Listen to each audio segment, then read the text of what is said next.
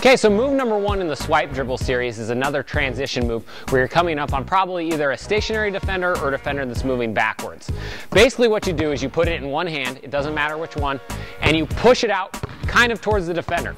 This makes it a little bit dangerous of a move, but as long as you're in control, it should be okay. So you come up, you push it out with one hand, and then with your opposite hand, you're catching it and you're swiping it back across. Alright, so first of all, remember this move's dangerous if there's a really quick defender in front of you.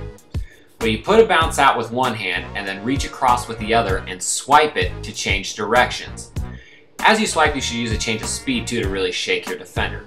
Pull the cross and then explode past your defender towards the hole. This can be used in the open court or going to score.